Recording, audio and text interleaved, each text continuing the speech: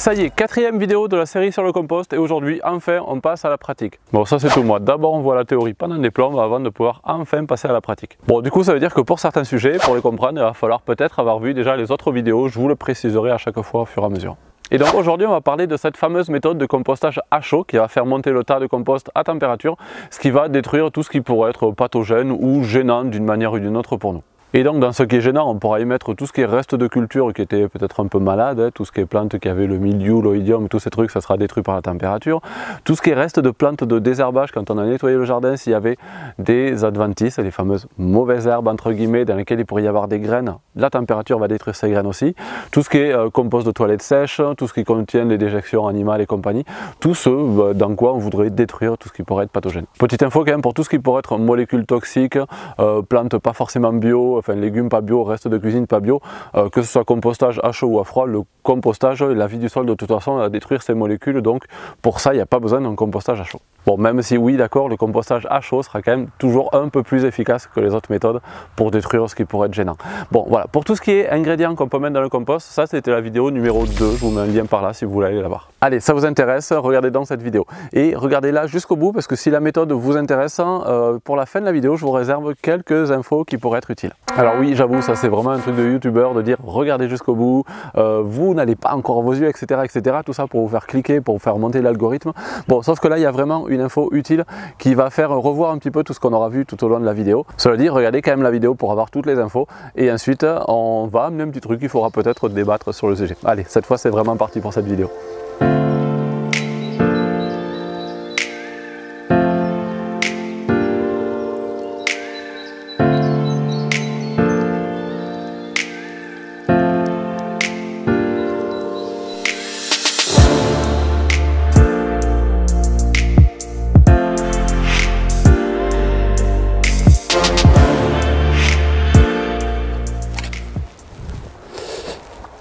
Premier truc à savoir, qui dit compostage à chaud dit que le tas de compost doit être monté en une seule fois. Autrement dit, tous les ingrédients vont être amenés en même temps. Euh, petite astuce en passant, plus vous aurez d'ingrédients différents dans votre compost, plus vous aurez un compost qui sera riche et qui contiendra ben, beaucoup de choses différentes. Et on retrouve là ce concept de diversité qui va être intéressant dans beaucoup de sujets. Et pour le compost, ben, ça marche aussi. Plus il y aura d'ingrédients différents, plus votre compost sera riche. À savoir que selon les ingrédients que vous allez y mettre, le compost n'aura pas exactement le même intérêt derrière, même si globalement un compost est plutôt uniquement nutritif euh, pour les cultures qui vont être faites ensuite dedans et pas forcément pour le sol, un petit peu quand même. Mais plus vous allez y mettre d'ingrédients azotés, plus votre compost sera nutritif pour les cultures et plus vous y mettrez d'ingrédients carbonés, plus votre compost sera intéressant pour faire monter le taux de matière organique que vous aurez dans votre sol. Bon, et si l'objectif c'est de faire monter durablement le taux de matière organique, le taux d'humus de votre sol, euh, il y a d'autres méthodes plus efficaces que le compost, c'est pas ça l'idéal, mais voilà, soit c'est des trucs qu'on verra dans d'autres vidéos. Et pour ce qui concerne le rapport carbone-azote, si c'est pas encore assez clair pour vous, ça c'est ce qui a été vu dans la vidéo numéro 3 de la série dont je vous mets un lien par là pour que vous puissiez aller la voir. Et donc de mon côté, pour les différents ingrédients que je vais y apporter, il y a ce tas que j'ai ici qui est l'accumulation de tous les déchets de désherbage, de travail que j'ai fait dans le jardin, mais des restes de coupe et toutes ces choses qui s'accumulent là depuis un moment. Donc ça en gros ça pourrait s'arrêter là, ça c'est une méthode de compostage qu'on dit à froid, hein, c'est un tas qui est fait petit à petit. Et une fois que ce tas est assez important et que j'ai suffisamment de matière là, et eh bien c'est à ce moment là que je vais aller chercher d'autres ingrédients différents. J'ai ramené il n'y a pas longtemps une grosse brouette de fumier de la ferme d'à côté, du fumier de vache assez pailleux en plus de ça, là-dedans, il y a tout le foin que j'utilise dans ma basse-cour, dans les, dans les pondoirs, que je nettoie de temps en temps, ça vient ici. Et donc, en plus de ça, ben, j'y rajoute toute cette paille là qui est ici, que je mets dans ma basse-cour. C'est la zone qui est un peu boueuse, surtout l'hiver quand il pleut beaucoup. C'est une zone où les volailles passent beaucoup de leur temps, donc il y a pas mal de déjections ici. C'est la zone où je viens balancer mes déchets de cuisine aussi quand j'en ai. Plutôt que de les mettre au compost, je les mets ici, comme ça, les poules mangent ce qu'elles veulent, et puis le ce qu'elles veulent pas, ça reste là. Le fait qu'elles grattent pour chercher de la nourriture, ça mélange un petit peu tout ça. Et donc, une fois que tout ça, ça commence à être un peu dégueulasse, c'est le cas maintenant, et eh bien je vais ramasser tout ça et amener ça directement dans mon compost. Ce genre de fumier de volaille euh, très très riche et super intéressant pour le compost derrière.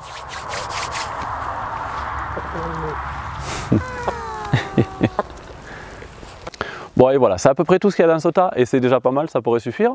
Mais en plus de ça, je pourrais y rajouter quelques tontes d'herbe quand je tombe par-ci par-là. Je pourrais aller ramasser des feuilles mortes dans les bois à côté ou au pied de mes arbres si je veux rajouter des matières un peu plus ligneuses. Si je veux encore un peu plus ligneux, j'ai reçu du broyat de déchets verts très très ligneux avec beaucoup de bois dedans que je pourrais rajouter là-dedans. Mais j'ai pas forcément besoin de rajouter des quantités en plus. Ces ingrédients que je vais y rajouter, ça sera plutôt pour rééquilibrer mon tas de compost. Si je vois que mon mélange est trop riche en matière plutôt azotée, plutôt molle, qui risque de pourrir, de moisir, bah là je vais y rajouter des matières plus ligneuses, comme des feuilles mortes ou du broyat de déchets verts ou de la paille. Et si je sens que mon compost là pour le coup est plutôt sec, eh bien je vais y rajouter plus de tontes d'herbe et euh, pour faire en sorte voilà, de rééquilibrer cette, euh, ce rapport carbone-azote. Mais bon là-dessus j'ai pas besoin de vous en dire plus parce que c'était vraiment le sujet de la vidéo numéro 3 de la série. Là c'est vraiment ben, la mise en pratique justement de ces connaissances là. Bon après tous ces ingrédients là, le broyat, les feuilles mortes et compagnie, l'autre raison pour laquelle j'ai pas besoin d'aller encore en ramasser plus, c'est que j'ai pas besoin de faire tant de compost que ça non plus. ce compost là il va être juste intéressant pour mes cultures un petit peu gourmandes. Et puis mes problèmes de dos, mon mal de dos euh, récurrent fait que j'ai pas non plus besoin d'en faire des quantités énormes parce qu'ensuite il va falloir le travailler, le retourner ce tas là. Et donc c'est ce qu'on va voir ensuite. Mais avant ça, encore un autre dernier ingrédient, c'est euh, ce reste de compost que j'avais ici, que j'avais déjà retourné il y a quelques temps. Donc ça c'est du compost qui est déjà bien avancé, il est quasiment prêt, il est déjà utilisable. Euh, je vais en garder un petit peu là pour éventuellement quelques cultures que j'ai à faire maintenant, mais là on est en plein hiver donc j'ai pas besoin d'en avoir tant que ça. Du coup, quand je vais faire mon mélange de différents ingrédients en différentes couches, comme on va voir là ensuite, je vais rajouter dans ces couches-là de ce compost-là. Et ça va donc faire comme une espèce de ferment, là-dedans il y a tous les micro-organismes, tout ce qui a servi déjà au processus de compostage. Ben, le fait de le rajouter dans toutes les matières un peu nouvelles, un peu neuves que je vais ramener euh, dans mon mélange, eh bien ça va accélérer la décomposition. Alors attention, si vous n'en avez pas chez vous et que vous débutez, vous faites un premier tas de compost, c'est pas du tout obligatoire, hein. ça va juste accélérer un peu le processus. Une fois que vous aurez un peu de compost, vous pourrez le faire. Mais pour commencer, c'est pas du tout une obligation. C'est intéressant de le rajouter, mais c'est pas du tout obligatoire. Bon, ben voilà, une fois que tout ça c'est préparé, si vous pouvez amener tous vos ingrédients proches de votre zone de compost, eh ben, il va falloir faire un genre de millefeuille où vous allez mélanger les couches des différents ingrédients que vous avez. Et le truc important à surveiller, c'est le taux d'humidité. Quand vous allez monter ça, il va falloir que ce soit suffisamment humide pour que le processus de décompostage, enfin de compostage, pourquoi décompostage, n'importe quoi, que le processus de compostage donc lance, à savoir que ça doit être ni trop humide ni trop sec, sinon ça marchera pas. Alors je vais monter mon tas et savoir qu'il y a différentes façons de faire. Là j'ai ramené différents éléments entre mon gros tas, le fumier de ma basse-cour, un peu de broyat de bois et je vais essayer de brasser tout ça ensemble et remonter un tas. Ça ne sera pas en couche, ça sera tout mélangé ensemble. À terme le résultat sera le même, en fait comme c'est le plus pratique pour vous. Autre point, moi j'ai préparé un arrosoir pour euh, l'humidifier, euh, sauf que là on vient de prendre une grosse pluie, on a pris plus de 25 mm. Donc là je pense que toute la matière que j'ai ramenée c'est bien humidifié, il n'y aura pas besoin d'en mettre plus. Mais voilà, toujours prévoir un arrosoir au cas où pour l'arroser au fur et à mesure. Donc si c'est trop humide, vraiment que les ingrédients que vous ramenez c'est dégoulinant, il a plus dessus, et eh bien rajoutez-y des éléments plus secs, si vous avez du foin, de la paille, des trucs un peu plus secs pour rééquilibrer. Et si c'est trop sec, il va falloir arroser. Et quand vous arrosez, un des trucs intéressants qu'on peut faire, c'est ne pas forcément arroser avec de l'eau, ou alors si vous avez de l'eau un peu dégueulasse quelque part, utilisez ça. Si vous avez des restes de purin, c'est intéressant. Si vous avez de l'urine, c'est intéressant. Que ce soit de l'urine humaine ou de n'importe quel animal, ça convient très très bien. Et tout ça, ça va rajouter encore des matières minérales qui vont faire que votre votre compost sera riche à la sortie. Alors pour ce qui est des quantités, encore une fois, je suis vraiment pas fan de chiffres et je préfère faire à l'œil. Alors je dis à l'œil mais pas au pif, attention, à savoir qu'avec l'expérience, vous arriverez à voir de mieux en mieux si c'est trop sec ou trop humide. Mais sachez que si à ce stade-là, c'est encore un peu trop humide, un peu trop sec, c'est pas parfait, il va y avoir une autre étape, on verra un peu plus loin dans la vidéo, où vous pourrez corriger ça. Pour l'instant, faites à l'œil, faites en sorte que ce soit bien humide quand même, mais pas trop dégoulinant non plus. Et donc on va monter le tas, il va falloir qu'à la fin ce tas fasse allez, au moins 1 mètre, 1 mètre 20 de hauteur et au moins 1 mètre 50 de largeur à sa base. Euh, moins gros que ça, la montée en température sera pas efficace. Et le faites pas trop gros non plus, il ne faudrait pas qu'il s'écrase sous son propre poids et qu'il soit trop tassé à la sortie. Et une fois que le tas est terminé, il va falloir mettre une bâche dessus. Mettre la bâche c'est important, alors ça peut être un peu important pour la température, ça va être encore un peu plus chaud dessous, ça c'est intéressant. Euh, par contre ça va surtout être intéressant, important pour le taux d'humidité. Si c'est pas bâché, qu'il fait trop chaud, il risque de sécher. S'il pleut, il risque d'y avoir beaucoup d'eau dedans, il va être trop humide. Euh, s'il y a trop d'eau qui passe dedans, toutes les matières minérales, nutritives, fertilisantes qu'il y a dans votre compost, ça risque d'être pris par l'eau et amené et lessivé dans le sol. Donc voilà, vraiment, mettez une bâche, c'est important pour ça. Euh, autre point important, je disais plutôt que la montée en température va détruire tout ce qui est graines d'adventice et graines de plantes que vous ne voudriez pas garder dans le compost. Euh, par contre, des graines dans l'air, là, il en vole, surtout là, en automne, hiver, il y a plein de graines qui volent dans l'atmosphère. Si on ne met pas de bâche, on va les cramer avec la température dans le compost, mais il y a plein de nouvelles qui vont arriver dessus. Donc c'est important de le bâcher. Bon, et une fois que ça c'est fait, la première étape est terminée. Ça va démarrer très très vite. La montée en température va se faire en quelques jours, voire même quelques heures, peut-être même quelques minutes à cœur du tas de compost. Et vous verrez qu'au bout de quelques jours, quelques semaines, le tas de compost va réduire de volume, la hauteur va baisser un petit peu. Donc vous pourrez le laisser comme ça, travailler tout seul pendant quelques semaines, hein, entre un et deux mois c'est très bien. Mais le travail n'est pas encore terminé puisque la montée en température ne va pas être efficace partout. À cœur dans le tas, ça va bien monter en température, mais plus près de la surface, ça va être moins chaud. Et donc, si l'idée c'est de se débarrasser de tout ce qui est pathogène, graines, etc., il va falloir que tout le tas monte bien en température, donc il va falloir retourner le tas. Et c'est là que c'est encore un petit peu physique. On enlève la bâche et ensuite le, tas, il va falloir le retourner. Donc la méthode, c'est pour ça que moi sur ma zone à compost, j'ai quelque chose d'assez grand comme ça. Alors c'est fait avec des palettes et j'ai de la place là pour y faire euh, à peu près trois tas, euh, les trois tas qu'on voit plus ou moins derrière moi. Et l'idée, ça va être donc de prendre des outils comme ça, des fourches, des crocs à fumier, des comme ça, donc à fumier, hein, pas les fourches bêches, ça rentre moins bien dans le tas, surtout si c'est un peu ligneux, c'est pas pratique.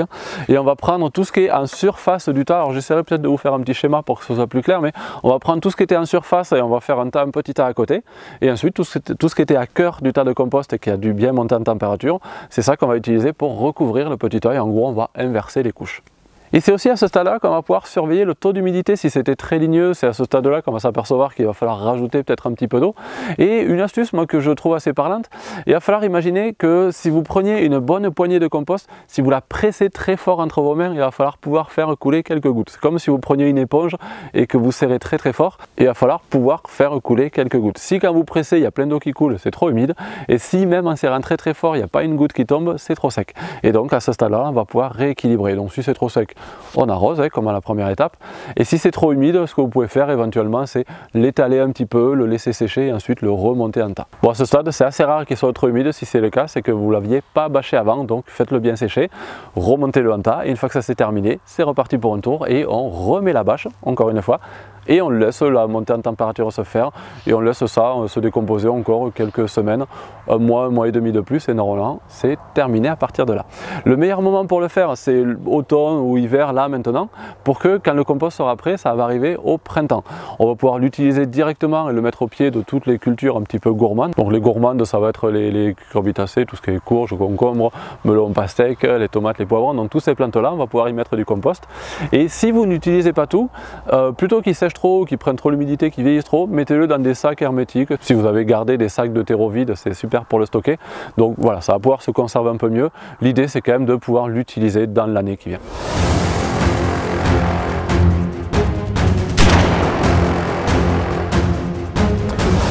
Bon et voilà donc pour ce qui est de la méthode de fabrication de ce truc génial qui est le compost à chaud parce que oui c'est génial le compost à chaud ça a plein d'intérêt au jardin mais et donc oui il y a un mais c'est pas forcément toujours le truc idéal.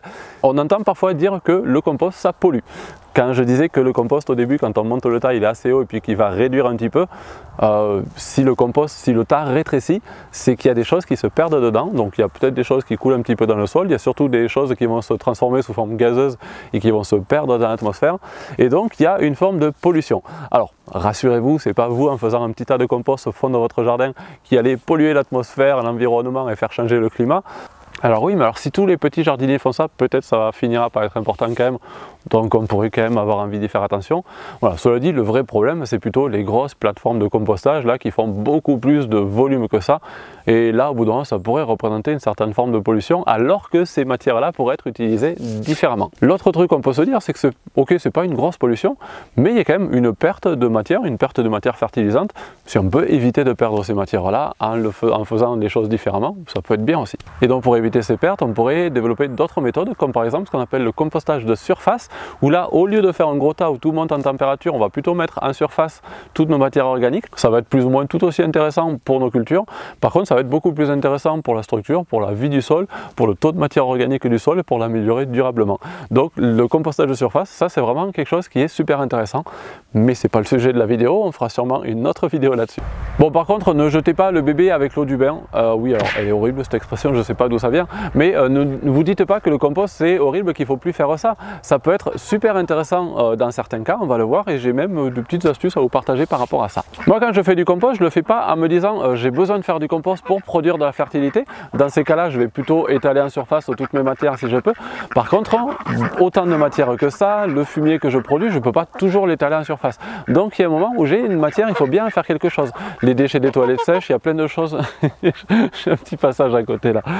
Il y a plein de choses que je vais produire en tellement grosse quantité que c'est pas forcément possible de les mettre directement dans le jardin.